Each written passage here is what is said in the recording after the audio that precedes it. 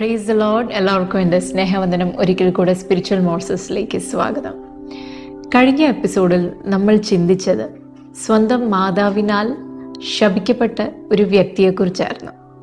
ഇന്ന് നമ്മൾ ചിന്തിക്കാൻ പോകുന്നത് സ്വന്തം പിതാവിനാൽ ശപിക്കപ്പെട്ട ഒരു വ്യക്തി. അതെ ഈ വ്യക്തിയെ സ്വന്തം പിതാവ് ശപിച്ചു. നമ്മൾക്കെല്ലാവർക്കും അറിയാം. ഉത്പത്തി പുസ്തകം നാൽപ്പത്തി ഒമ്പതാം അധ്യായത്തിൽ യാക്കോബ് തന്റെ മക്കളെ എല്ലാവരെയും അരികിലേക്ക് വിളിച്ച് അവരെ അനുഗ്രഹിക്കുകയാണ്. അപ്പോൾ ഇവരെല്ലാവരെയും അനുഗ്രഹിക്കാൻ വേണ്ടി വിളിക്കുമ്പോൾ അവിടെ ആദ്യത്തെ വാക്യം തൊട്ട് നമ്മൾ വായിച്ചു തുടങ്ങുമ്പോൾ അവിടെ നമ്മൾക്ക് കാണാം. യാക്കോബ് അവരോട് പറയുന്നു വരുവീൻ എന്റെ അരികിലേക്ക് വരുവീൻ. ഞാൻ നിങ്ങൾക്ക് ഭാവിയിൽ നിങ്ങൾക്ക് നടക്കാൻ പോകുന്ന കാര്യങ്ങൾ എന്തെന്ന് ഞാൻ നിങ്ങൾക്ക് പറഞ്ഞുതരാം. അതായത് ലേറ്റർ ഡേയ്സ് ഇപ്പോൾ ഒന്നും നടക്കാൻ പോകുന്നതല്ല പക്ഷെങ്കിൽ പിന്നീട് എന്താ സംഭവിക്കാൻ പോകുന്നതെന്ന് ഞാൻ നിങ്ങളോട് പറയാം. ഈ പിതാവ് ഇങ്ങനെ ഇവരെ വിളിച്ച് അനുഗ്രഹിക്കുമ്പോൾ നമ്മൾ ഒരു കാര്യം മനസ്സിലാക്കണം. ഇവർ മിശ്രൈമിലാണ് യാക്കോബ് മരിക്കുന്നതിന് മുമ്പ് അവരെ അനുഗ്രഹിക്കുകയാണ്. പക്ഷെ യാക്കോബിനെ അറിയാം യാക്കോബ് മരിച്ചതിന് ശേഷം യോസെഫ് മരിക്കുന്നതിന് ശേഷം യോസെഫിനെ അറിയാൻ മേലാത്ത ഒരു രാജാവ് വരുമെന്നും ആ രാജാവ് ഇവരെ എല്ലാവരെയും അടിമകളാക്കുമെന്നും യാക്കോബിനറിയാം. അപ്പോൾ യാക്കൂബ് പറയുന്നത് ഇപ്പം നടക്കാൻ പോകുന്ന കാര്യങ്ങളല്ല. നിങ്ങളുടെ അടിമത്തത്തിനൊക്കെ ശേഷം ദൈവം വാഗ്ദത്തം ചെയ്ത ഒരു നാടുണ്ട്. ആ നാട്ടിലേക്ക് നിങ്ങൾ തിരിച്ചു പോകണം ആ നാട്ടിൽ നിങ്ങൾ ചെല്ലുമ്പോൾ പിന്നീട് നടക്കാൻ പോകുന്ന കാര്യങ്ങൾ. അങ്ങനെ യാക്കോബ് അവരെ വിളിച്ച് അനുഗ്രഹിക്കുന്നു.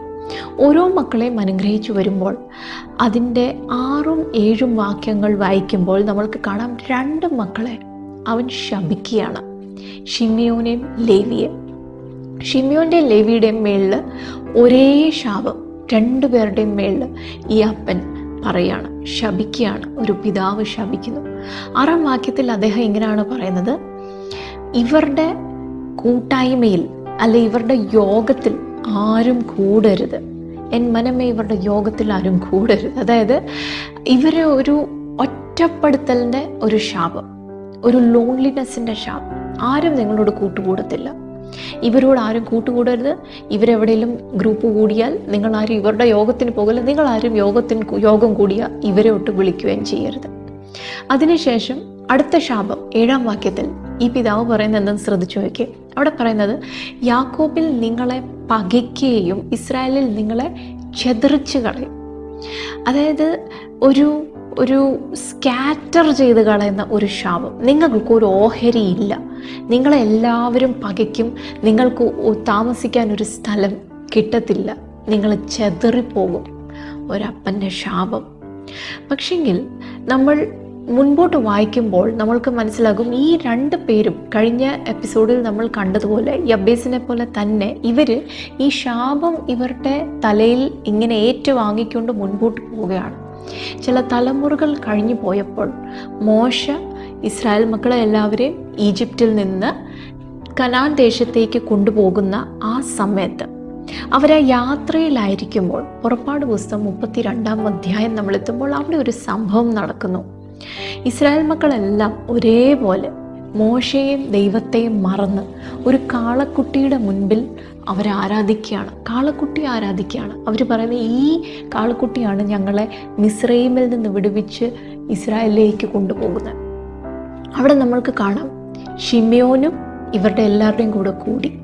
അവനോർത്തു ഞാൻ യോഗം കൂടിയ ഇവരാരും കൂടത്തില്ലെന്ന് ശാപമുണ്ടല്ലോ. ഇവരുടെ യോഗത്തിൽ ഞാൻ കൂടിയേക്കാം. പക്ഷെ ലേവി അവിടെ വേറെ ഒരു വ്യത്യസ്തമായ ഒരു തീരുമാനമെടുക്കുന്നു. ഇവരെല്ലാവരും കാളക്കുട്ടിയെ ആരാധിച്ചപ്പോൾ ലേവി ഒരു സ്റ്റെപ്പ് പുറകോട്ടെടുത്ത് കൈകെട്ടി അവിടെ നോക്കി നിന്നു.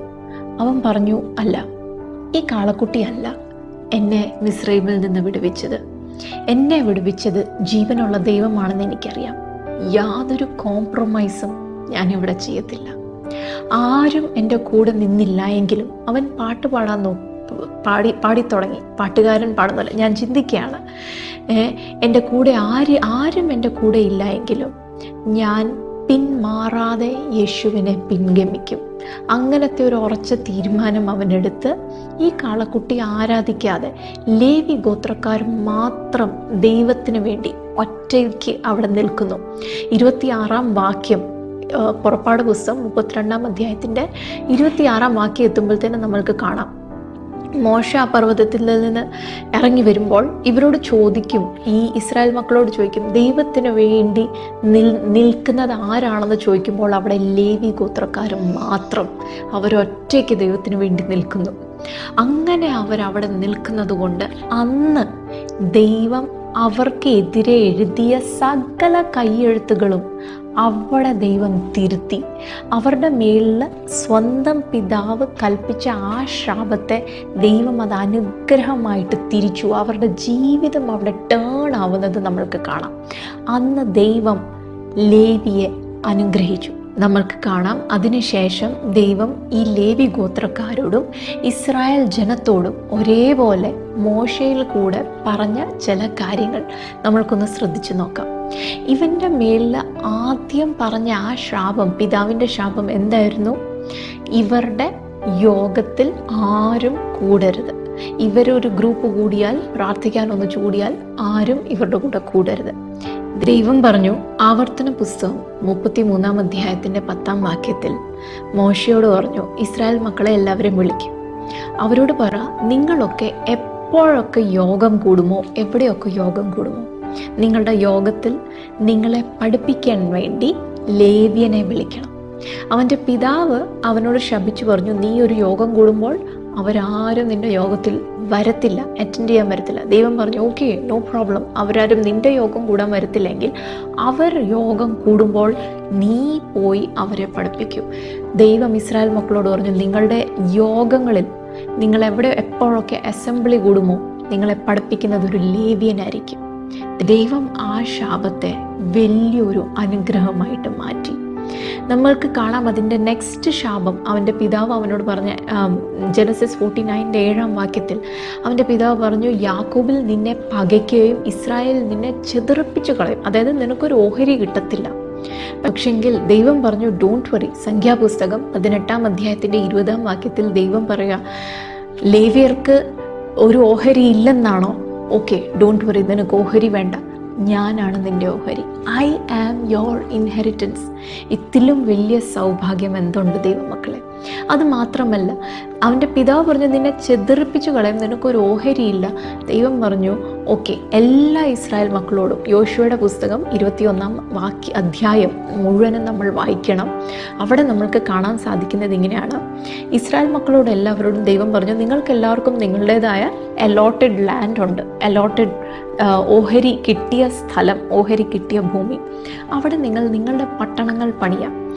പക്ഷെങ്കിൽ ഈ പട്ടണങ്ങളെല്ലാം പണിതതിന് ശേഷം നാൽപ്പത്തി എട്ട് പട്ടണങ്ങൾ ലേവ്യന് വേണ്ടി മാറ്റിവെക്കണം ലേവ്യൻ ഇഷ്ടമുള്ളപ്പോൾ അവൻ ഇഷ്ടമുള്ള പട്ടണത്തിൽ അവന് താമസിക്കാം. എന്തൊരു അനുഗ്രഹം. പിതാവ് പറഞ്ഞു നിന്നെ ചെതറിപ്പിച്ച് കളയും. നിനക്കൊരു ഓഹരിയില്ല. ദൈവം പറഞ്ഞു നീ വിഷമിക്കണ്ട. ഞാൻ നിനക്ക് ഓഹരി തരാം. നിനക്ക് ഇഷ്ടമുള്ളിടത്ത് നീ പോയി താമസിച്ചോ. ചെതറിച്ച് പകച്ചിട്ടല്ല പക്ഷെ മാനിച്ചിട്ട്.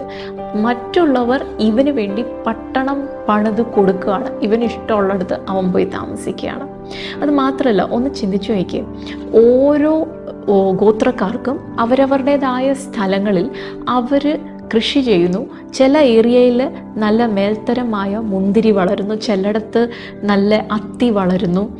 ചിലയിടത്ത് ഒലിവ് വളരുന്നു. അങ്ങനെ ഓരോ ചിലയിടത്ത് മാതളം വളരുന്നു. അങ്ങനെ എല്ലാവർക്കും നല്ല ബെസ്റ്റായിട്ടുള്ള പല സാധനങ്ങൾ കിട്ടും. പക്ഷേ ലേവിയർ കോഹരി ഇല്ലാത്തത് കൊണ്ട് ഇതൊന്നും കിട്ടത്തില്ലെന്നാണ് പലരും വിചാരിച്ച്. ദൈവം പറഞ്ഞു വെയിറ്റ് ആവർത്തന പുസ്തകം പതിനെട്ടാം അധ്യായത്തിൽ ദൈവം ഇവരോട് എല്ലാവരോടും പറയാണ്. നിങ്ങളെല്ലാവരും കൃഷി ചെയ്യും. പക്ഷേ ഇതെല്ലാം ഉണ്ടായി കഴിയുമ്പോൾ ആദ്യ ഫലം എന്ന് പറയുന്ന ആ സംഭവം അത് ലേവ്യന്റെ അടുത്ത് വന്ന് കൊടുക്കണം. നിങ്ങളുടെ ഓരോ കൃഷിയുടെയും മുന്തിരി വളരുന്ന നാട്ടിൽ നിന്ന് ആദ്യ ഫലം ലേവിന് വേണ്ടി വരുന്നു. ഒലിവ് വളരുന്ന നാട്ടിൽ നിന്ന് ആദ്യ ഫലം ലേവിന് വേണ്ടി വരുന്നു. അത്തി വളരുന്ന നാട്ടിൽ നിന്ന് ആദ്യ ഫലം ലേവിന് വേണ്ടി വരുന്നു. എല്ലാവർക്കും ഓരോ പോർഷനുണ്ട് ഇവന് സ്വന്തമായിട്ട് ഓഹരി ഇല്ല എങ്കിലും എല്ലായിടത്തേതും ബെസ്റ്റ് ദൈവം അവന് കൊടുത്തു. പ്രിയ ദൈവമക്കളെ ദൈവത്തിന് വേണ്ടി ഒറ്റയ്ക്ക് നിൽക്കേണ്ടി വന്നെങ്കിലും ദൈവത്തിന് വേണ്ടി നിന്നാൽ ഏതൊരു ശാപത്തെയും അനുഗ്രഹമാക്കി ആക്കി മാറ്റുന്ന ദൈവമാണെന്ന് ഈ ലേവിയുടെ ജീവിതത്തിൽ നിന്ന് നമ്മൾക്ക് മനസ്സിലാകാൻ സാധിക്കും. നമ്മളുടെ ഓരോരുത്തരുടെയും ജീവിതത്തിൽ പല സാഹചര്യങ്ങളിൽ പലപ്പോഴും ദൈവത്തിന് വേണ്ടി നിൽക്കുന്നത് കൊണ്ട് ഒറ്റപ്പെടലൊക്കെ അനു അനുഭവിക്കേണ്ടി വരാം. പക്ഷെങ്കിൽ അങ്ങനെ അനുഭവിച്ചാലും ദൈവത്തിന് വേണ്ടി വിശ്വസ്തയോടുകൂടി നമ്മൾ നിന്നാൽ നമ്മുടെ ജീവിതത്തിൽ വരുന്ന സകല ശാപത്തെയും ആര് ശപിച്ചതാണെങ്കിലും ദൈവം അതൊരു അനുഗ്രഹമാക്കി മാറ്റും. അങ്ങനെ ദൈവത്തിന്റെ അനുഗ്രഹം നിങ്ങളെല്ലാവരും അനുഭവിക്കട്ടെ എന്ന് ഞാൻ ആഗ്രഹിക്കുന്നു പ്രാർത്ഥിക്കുന്നു. ദൈവം നിങ്ങളെല്ലാവരെയും അനുഗ്രഹിക്കട്ടെ. God bless